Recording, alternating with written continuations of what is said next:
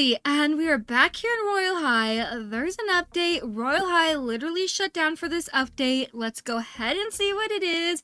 Right here, I already see something that's a little disappointing, but let's go ahead and log in and check it out. So here we have, due to recent changes impacting available items in Royale High, you have been reimbursed more than the currency value of those items. We apologize for any inconvenience and hope you enjoy your extra diamonds. So right here we have the fluttering butterfly set. Looks like that is must be gone out of the game because we have just been given diamonds for the stuff. And the chanting heirloom stuff. That is really disappointing, especially since I loved the chanting heirloom set. It was one of my favorite sets but maybe it's because of copyright. What's also a little disappointing is those are some of the very few all year round sets that we had in the game.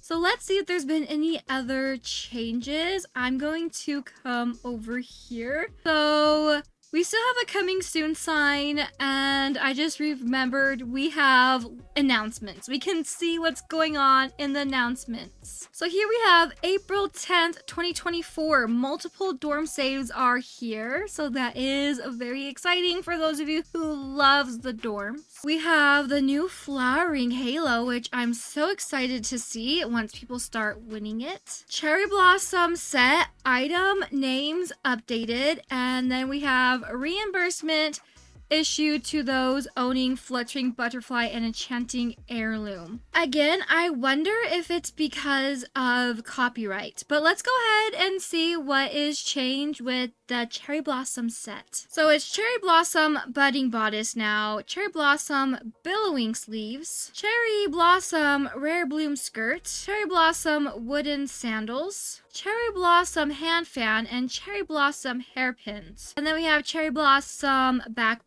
So I think the big update. The reason why they actually shut down was maybe for dorm saves. So let's go ahead and go to the dorms. I really thought we were going to have a phase, guys. I really thought when they shut down, we were going to see a new phase of Campus 3. Like, I understand dorm saves are a pretty big update by themselves. But as somebody who really doesn't like doing the dorm decorating because I'm not very good at decorating, I was really hoping for a new face. So let's go ahead and enter and see what we have. So now we have the new option that is switch rooms. So decorate a different room. So this is a fresh fairy dorm. Oh, but you have to buy a new room, I guess. Should I see what happens? So let's buy.